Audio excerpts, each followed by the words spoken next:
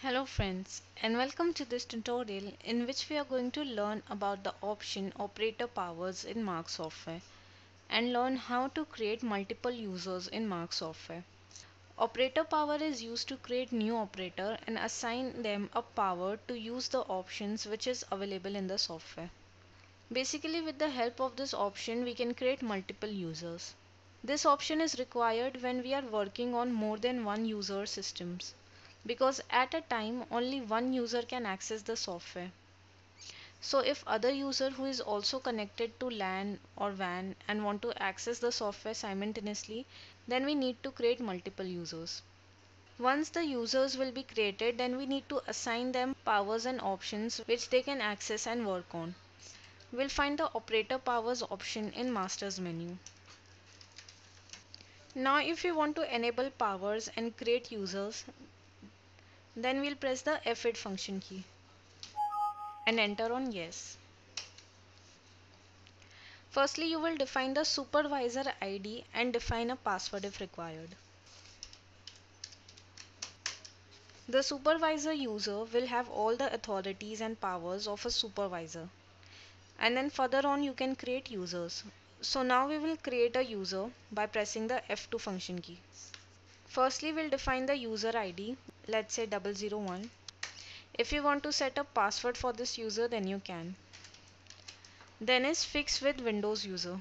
Suppose if you want that this user 001 can log in with his user id and password in Marg software only on a particular windows user then you will define the windows user name over here. Suppose n e t a d m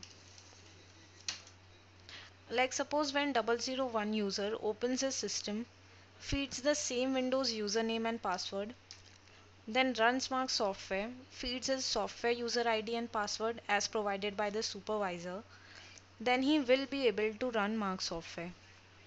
But if he logs in with some other username and clicks on Marg software and feeds his user ID and password, then he won't be able to run Marg software because this user 001 can only run Marg software when he is logged into this Windows user. Next is fix with computer. You can also set a particular user to log in with his user ID and password on a fixed computer. Like suppose I want that 001 user can log in with his user ID and password only on a particular system. So I will define the system's name here. Now how to find a computer's name. For that you will right click on my computer, properties and here you will find the computer's name.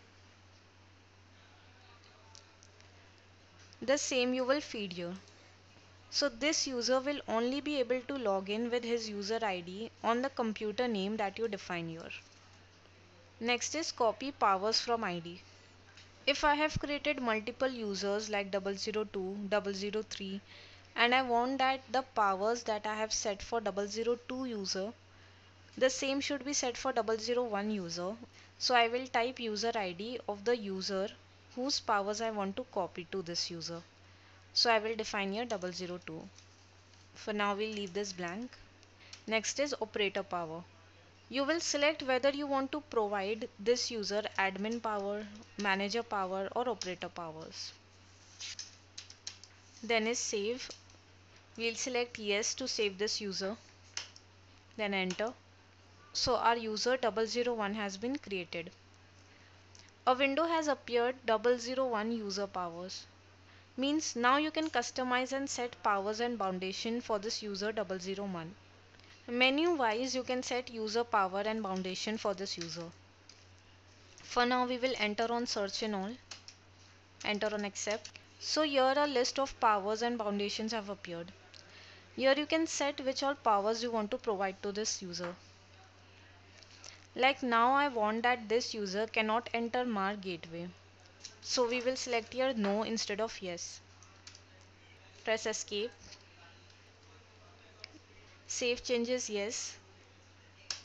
Again press escape and enter on yes. Now we will press Ctrl U to switch user since we are logged in with supervisor ID. 001 user ID and password 001 enter and now we are logged in with 001 user as you can see now we'll enter on exit. Enter on a company and enter on Marg Gateway. And here this window appears. Sorry you're not authorized to use this option. Because the supervisor user had set no for entering into Marg Gateway by 001 user. Now again we'll switch user, define supervisor ID and password.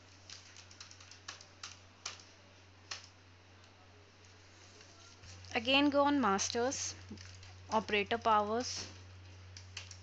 Select the user for whom we set no for entering Marg Gateway. Enter on search and all. You can directly type your gateway. Enter on accept. And again let's set this to yes. Escape. Save changes. Yes. Now 001 user will be able to enter on Marg Gateway so in this way you can set powers and boundations for your user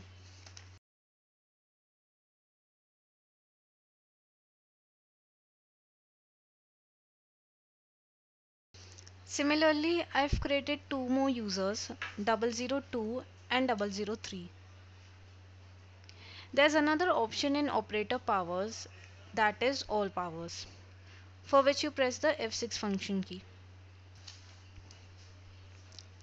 Through this option you can view and set powers and boundations for users in a simpler way and export the settings to Excel if required. So this window shows a list of powers and the list of users. So from one window itself you can change powers and set boundations for respective users without having the need to again and again enter on each and every user and search in control room. Like there's a power of create new financial year. If you want then you can change this power for this user suppose 002 from here itself. So suppose we'll close this authority for this user 002 you can directly search here for the power if you want. As you can see. Then after doing the setting, click on save. You can also export the setting in Excel by clicking here on Excel. And here our settings have been exported to Excel. Now from here you can take a quick view of powers and authorities that you have set for your users. So friends, in this way we learned about operators power and boundation and how to create operators and users. Thanks for watching.